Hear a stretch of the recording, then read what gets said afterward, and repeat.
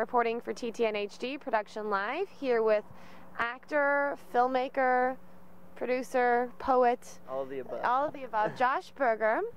What inspired you to get into the film business, Josh? Um, I started in film. Well, I started acting when I was really young. I, uh, when I was always a performer per se, but uh, I really got into acting when I was about eight years old.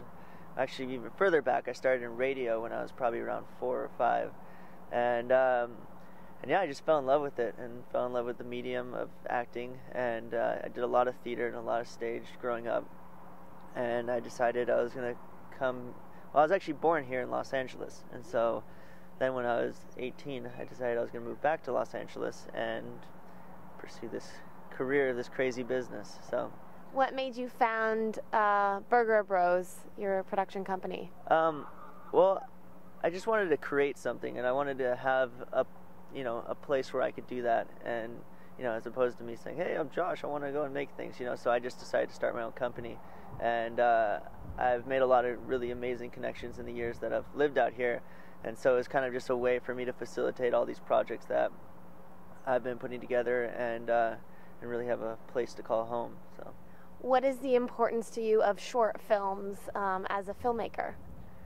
I think it's just a short way of telling stories. You know, I think that storytelling is the most important part about filmmaking and really, you know, evoking emotion and things like that. And it doesn't necessarily have to come from a long story. You know, there can be short stories that are that are powerful and that really, you know, hone in an impact. And it's also what I think is great is you don't have to say, "Hey, can you sit for an hour and a half of your time to come in and come and see what I what I have to say?" You know.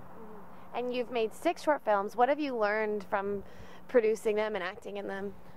Um, I think that short film making is is a medium in itself because you know you have to get in and get out per se, and so it's uh, I don't know. It's it's been a really interesting process to learn how to tell a story in a short period of time and to really be able to develop characters quickly and to you know really be able to tell a story that has a beginning, middle, and end in you know a shorter period of time than a full hour, hour and a half time period frame.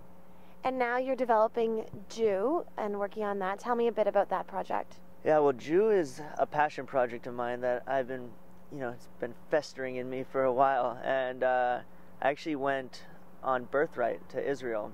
And uh, when I was out there, I was just moved by Judaism and what Judaism looks like nowadays. You know, we see all these things about the Holocaust and all that stuff, and it always becomes something of the past, you know?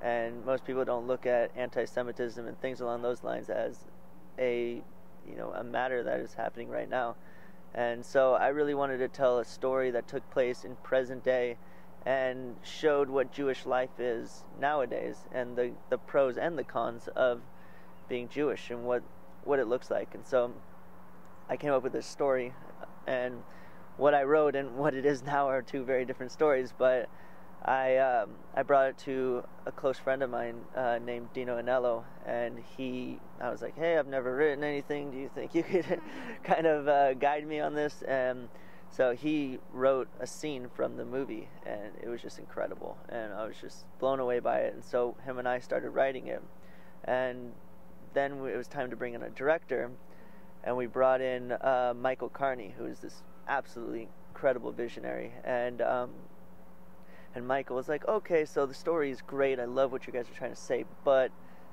there's something missing. You know, there's something that's that you know is is missing in the story to make it full. And so um, he came in, and we all three started writing, and we started just repuzzling it, and we turned it into what it is today. And uh, Michael was an you know incredible help on that, and then we shot it, and we just made magic. I mean, it was incredible. It was a dream come true for me, you know, especially with this project and with this film and, you know, what I wanted to say. And, you know, I just saw the, uh, the final print of it and we're actually the, the locked print of it. We're still in, you know, the final stages of post and it's, you know, it's really amazing. So I'm just, I'm really excited. It's something I'm really proud of as well. Congratulations. Thank you. What are your goals for the future? Uh, my goals for the future is, you know, to keep going on this path. You know, I have, um, I have another a feature film that's in development right now, and so, you know, really start moving into into that realm of, you know, telling long form stories and, you know, working with my brother who works over at, uh, he's uh, one of the founders of Radical Studios, and they're doing some incredible stuff and. So I've just been really fortunate to have a really good community of people who are talented and strong and growing in this industry. So the future will be bright. And where's the best place to find out more about your work online? Um, you can go to bergerbrosent.com and uh, yeah, you can find out everything on there. Great. Well, thank you so much, Josh, and best of luck with your upcoming projects. Thank you so much. I'm Katie Uhlmann reporting for TTN HD Production Live.